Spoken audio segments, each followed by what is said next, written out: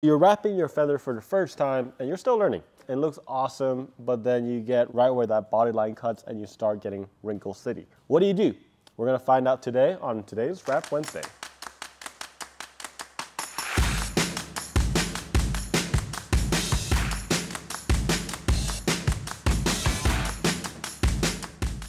So in today's video, I want to kind of cover about how to handle wrinkles. I understand when I'm actually going to be wrapping this, you're going to glass it a little bit more. You're going to stretch it more so that there's less tension here. For demonstration, I have it set up like this. Obviously, it's not a full car.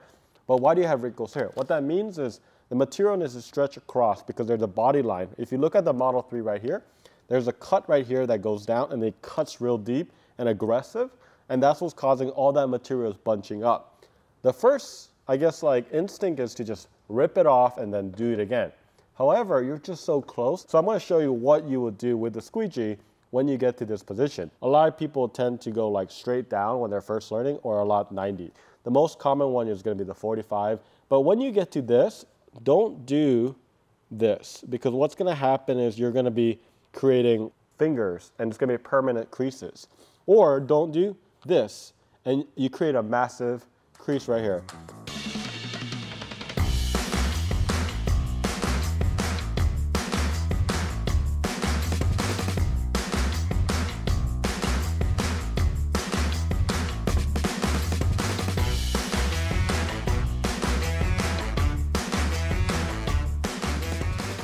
If I were to actually do this right, what I would have done is really stretch it across this body line. And then what you can do is stretch it from here.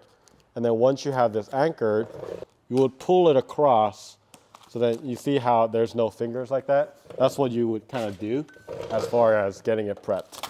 But again, this technique is when you get to the end, um, a lot of times it happens towards the end of the, the door when you're doing it and you kind of go down all the way and you'll see some of that. So I'm just gonna go ahead and squeegee this down and purposely, and then we'll try doing this. When you're doing this, you're not like pulling hard, you're just kind of guiding it.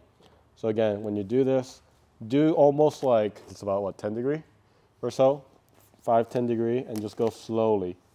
That's really the key, is to just kind of go slowly, side to side, and you're kind of like knifing, look at that. You're just knifing this in instead of going, you are not going down. That's really what you want to avoid. You're going side to side while you're holding that. All right, and then if you need to heat, you can heat. You can always heat.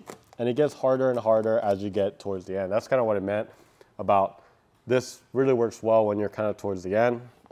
All right, let's keep doing this. Look at that.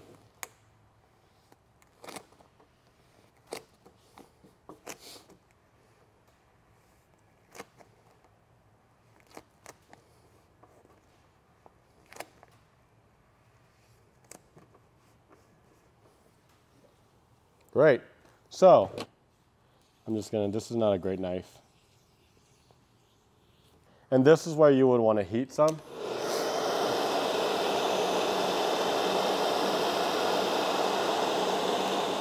And I would be using like a wrap glove or something like that to do this part if you were going over the edge.